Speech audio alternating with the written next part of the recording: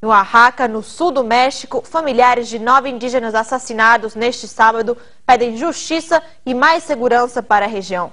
Os parentes das vítimas protestaram contra o descaso do governo. Um grupo de pelo menos 40 indígenas sofreu uma emboscada organizada por homens armados. Eles se dirigiam em caravana a uma assembleia prévia às eleições municipais. Nove pessoas morreram e dez ficaram feridas no ataque. As autoridades acreditam que o massacre ocorreu por interesses políticos.